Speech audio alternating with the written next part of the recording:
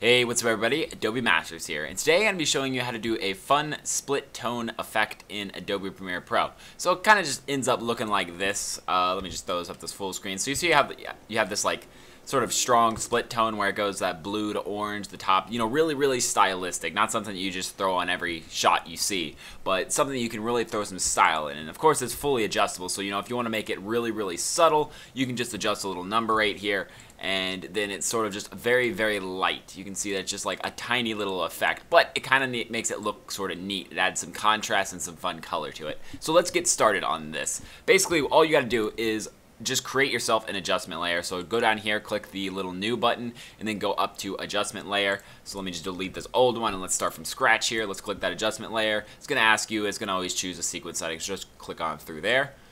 Drop that adjustment layer on and then, you know, expand it as many clips as you want it to be expanded through. And then what you're going to want to do is go over to effects and then find under generate, which is under video effects, something called the ramp effect. So we're going to drop that down here and you see that it looks like this right now. And that's because this down here is sort of like the opacity, but it's the reverse of it. It's how much it's blending with the normal. So we can go with like something like 90% and you see that it mostly disappears. And it also kind of creates this black and white, makes sort of a neat effect to it.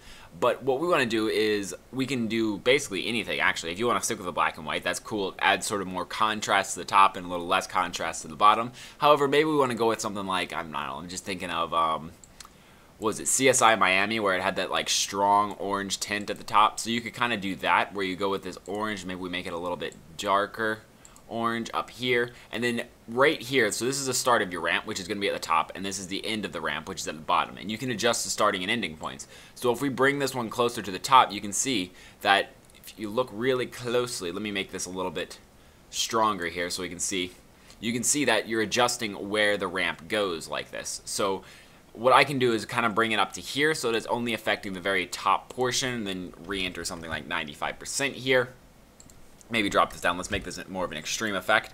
Put 80% there, and we have this really neat sort of effect. And maybe if I wanted the bottom to be more towards the, the black side, it'll just kind of add some contrast down there.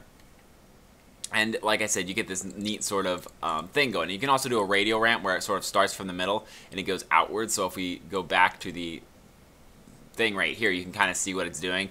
And that kind of creates a neat little effect as well we go back, it kind of creates this, this ball of color, but I like the linear ramp for this situation. And then let's kind of go to maybe 85%. And we can also do this offset color. So if we pick any other color, I think it always looks better with a second color. Like this kind of purple on the bottom. So it kind of creates this, like, it almost looks like an Instagram filter or something like that. It, it creates this neat little contrast in here. And like I said, you can make this go up to 95, and then it's just sort of this subtle, and you're kind of making the pink down here, accent the pink right here. Then we get into the next one, uh, it isn't very noticeable. So we can, of course, click the animation button if we do want to animate it throughout our scenes. But, you know, just kind of find one that kind of works with yours, maybe 87%. Yeah, it kind of gives a nice little style to it. I could see maybe like a travel video having this or maybe even like um, a music video or something like that. It would look pretty neat on that. But that I just kind of wanted to show you is this really quick way to sort of add this two-tone color contrast onto your footage. And now let me just show you one last thing is we don't have to sort of give this effect up and down. If we wanted to, we can move this over. So this is the X and this is the Y. So we can move the X over and then move this the opposite direction. And then let's sort of back this off a little or maybe make it up a little more. And now we kind of have this color going across. And I really actually like that color combination. I think it looks really neat. And now if we bring this back in, maybe like 80, we can get this sort of neat two-tone effect splitting down the center. Maybe we could even make it like really strong. We could go like like 60 and now you kind of got this.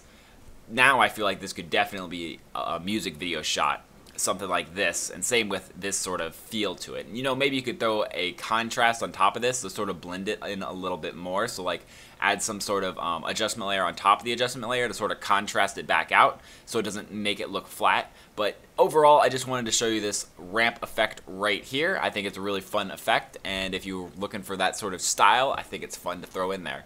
Thanks everyone for joining me for this quick tutorial on a nice little fun effect. If you got any questions or comments, those in the comment section below. If you got any suggestions for future tutorials, those in the comment section below as well. I like to make videos off of that. If you want to see more videos similar to this, go ahead and hit that subscribe button. I make videos every other day. So yeah, it's just all Adobe related content, tutorials to, you know, make you better. So yeah, until next time guys, see ya.